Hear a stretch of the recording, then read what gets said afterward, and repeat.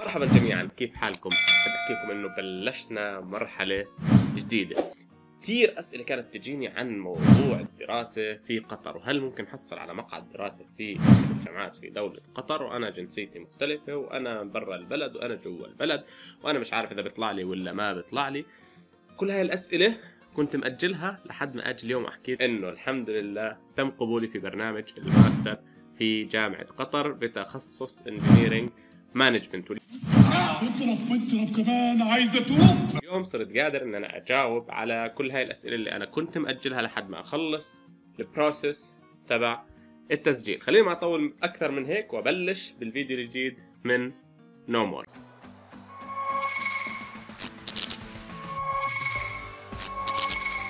أول شيء في هذا الفيديو بحب أحكي شكرا كثير لكل الناس اللي بتدعمني وأولهم أهلي وإخواني فثانك يو كثير. أكيد شكرا للدكتور وائل الأزهري وأكيد شكرا للمهندس شاكر خليف لأنهم ما تأخروا. ثانية واحدة كل ما أحتاج لواحد منهم في مساعدة معينة.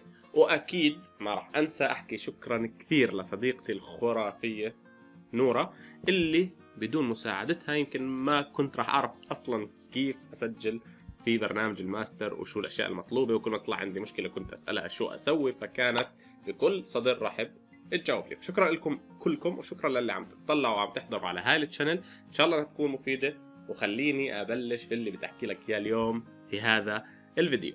اللي بدي أحكي لك إياه في هذا الفيديو إن اليوم زي ما حكيت قبل شوي أنا قادر إني أنا أجاوب على أسئلتكم اللي بخصوص موضوع الدراسة في الجامعات في دولة قطر. يمكن ما أقدر أجاوبها كلها بس أكيد إن شاء الله راح أقدر أجاوب ولو على جزء بسيط منها. اليوم عم بحط لكم هذا الفيديو الأول ضمن سلسلة من مجموعة فيديوهات إن شاء الله راح تنزل على ال channel تبعي لغاية الآن أنا مقرر إنها ضمن الفيديوهات اللي في سلسلة no no more يمكن إذا لقيتهم أكثر نحطهم في سلسلة منفصلة. واللي راح أجاوب فيها عن الأسئلة اللي أجتني عن موضوع الدراسة في دولة قطر. ومن أبرز هاي الأسئلة اللي راح تلاقوها إن شاء الله في ال videos اللي جاي السؤال الأول كان عم بسأل هل يستطيع حامل الجنسية غير القطرية الدراسة في جامعات قطر أو في جامعة قطر؟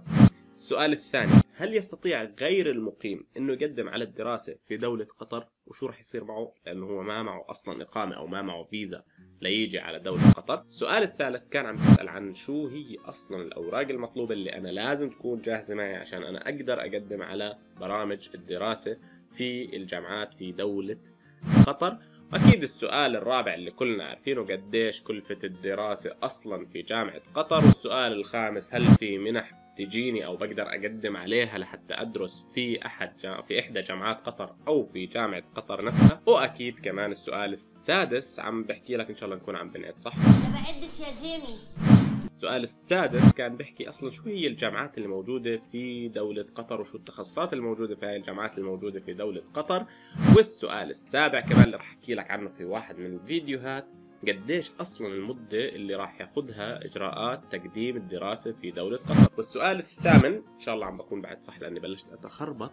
Okay عرفنا المدة اللي من حد ما تبلش تقدم الطلب لحد ما يطلع القبول إن شاء الله. قديش المدة اللي من بعد ما يطلع القبول لحد ما يبلش الفصل الدراسي؟ في الجامعات الموجودة في دولة قطر. والسؤال التاسع هل في مقابلة شخصية؟ مثلا جامعة الدراسات العليا هل في مقابلة شخصية راح أنا أضطر أروح عليها علشان أنقبل في التخصص اللي أنا مقدم عليه؟ بما أنه أكيد سألني في مقابلة؟ أحكي له yes في مقابلة فهو سألني. شو الأسئلة اللي ممكن يسألوك إياها في مقابلة الدراسات العليا أو التخصصات اللي فيها مقابلات عشان تقدر تنقبل هل اسئلتهم صعبة؟ وهل كثير يعني بيصعبوا الموضوع؟ تمام إذا في مقابلة واجتزنا المقابلة. شو الإجراءات اللي بعد ما تجتاز المقابلة ويتم قبولك عشان تدرس في جامعة قطر أو في الجامعات في دولة قطر؟ والسؤال كمان اللي بيجي أكيد كيف بدي أعرف إني انقبلت إذا كنت مقدم على واحد من البرامج اللي موجودة في الجامعات في دولة قطر؟ هاي أسئلة كثيرة وغيرها من الأسئلة اللي عم تجيني وعم بنسألها.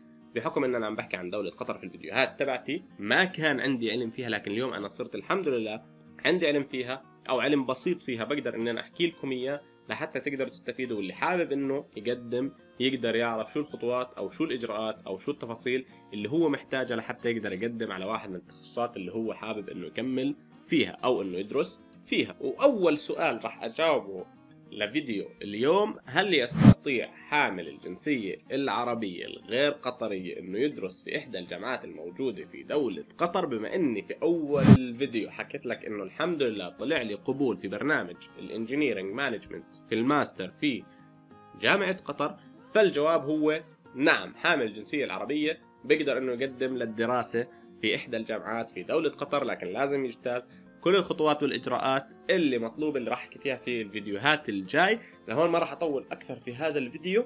انزلوا على ال comments احكوا لي إذا في عندكم أسئلة بتحبوا إن أنا أشملها في هاي السلسلة. بتخيل إنها إن شاء الله راح تكون سلسلة مفيدة وراح تفيد عدد لا بأس به من الناس اللي عم تسأل. وإذا شايفين إنه راح يكون موضوع مهم ومفيد فاسلخوا لنا like واعملوا share للفيديو لأصحابكم اللي ممكن يكونوا عم يسألوا عن نفس الموضوع. وإذا كنت أول مرة عم تحضرني ف اعمل subscribe و enable لل notification bell على ال channel لحتى يوصلك كل فيديو جديد. من هون اجاوبكم كل أسئلتكم. إن شاء الله بتضلوا بخير وسلامة وسعادة وسلام.